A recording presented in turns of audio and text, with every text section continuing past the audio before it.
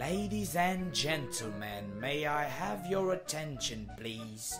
Step right up, step right up, gather round, gather round, and behold. The circus stands in its full glory. Inside of it, a whole society moves like the set of tiny pointy pieces that make a clock work. Firstly, we've got the line. The line where hundreds of people wait to buy the tickets that will give them an amazing experience worth the high cost. Right next to it, the young dealer rises. We allow him and even give him a little hand to sell his product to the line folks. But we must receive a share of the profit, and how profitable it is. Inside, the audience watches the spectacle.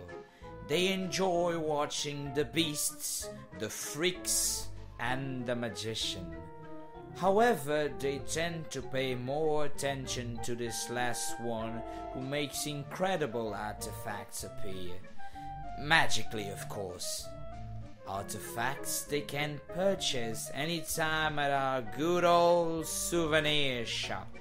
But no matter if they choose to do it or not, the magician always gives them the last trick for free. He raises his wand and poof, the wallets are gone. And if you don't have one, it's alright. It works with watches as well. A particular division of our society is dedicated to the children. Two beloved clowns work there. The character clown is an artist. He manages the brush with a unique and passionate style.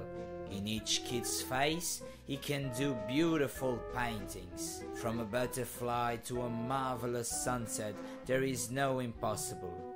Yet, we only paint them one symbol. The August Clown is a genius.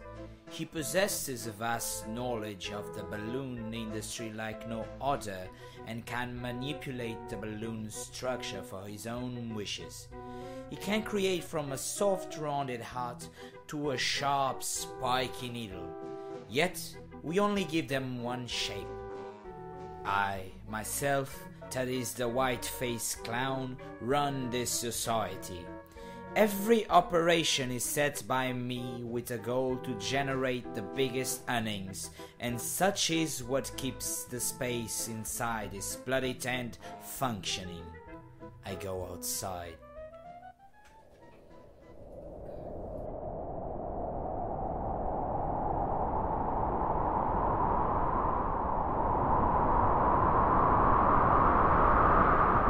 Misery of a land must be hidden from our audience. They're the suppliers of our sweet fragrant cash, and so only quality must be shown to them to justify their investments, even if that quality is nothing but illusion. Yes, it all runs swell in a constant rhythm, just like the set of tiny pointy pieces that make a clock work.